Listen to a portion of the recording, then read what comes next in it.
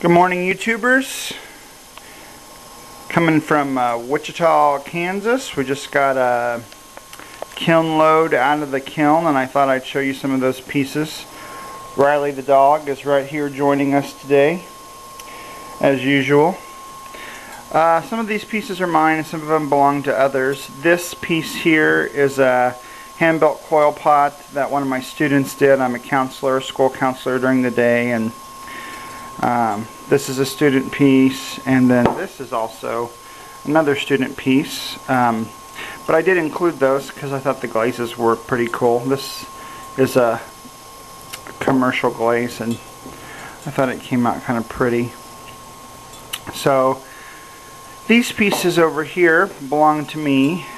I've noticed with my glazes, I've switched from some of the pre-mixed glazes to powder form and um, I've probably added too much water to some of the glazes because they run a lot easier. I, I need to get a hydrometer. I would actually like to start learning how to make my own glazes so I think that'd be a great video for Tim C. Potts or maybe Simon Leach. Get on there and show me how to do that. That would be awesome. I'm afraid if I tried to do that myself I might blow up my kitchen or something. Uh, this is a bowl I made for a friend and I think it came out pretty cool. The sides of it kind of um, used uh, the end of a paintbrush actually and made in made those marks. You see we've got some runnage there. We'll have to grind that off. But I didn't think it came out too badly. And then these are some bowls that a friend of mine glazed. Um, I threw the bowls and then he glazed them to give away to friends. And um, they came out alright except for like this one like I was talking about earlier has ran quite a bit. I already started grinding a little bit right there. Need to finish that up.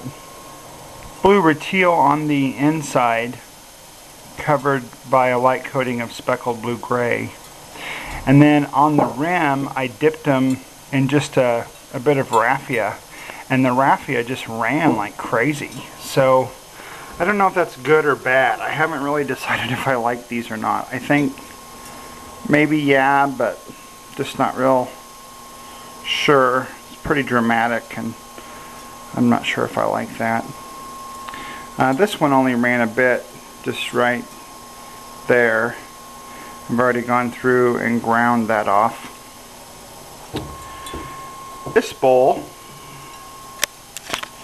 here is, um, I like this one a lot. I like how that came out. Uh, just kind of did some spattering and and spritzing of a light coat of glaze on the outside. Just really, really like that effect. I wish that the bowl itself was maybe thrown a bit better, but I really like how it came out, how the glaze came out. The inside, that same glaze, just a much heavier coat. It looks kind of like an Albany slip brown. Uh, that's not what it is. It's actually a reduced down blue. You can kind of see the whole kiln load here in one shot. Alright YouTubers, adios until next time.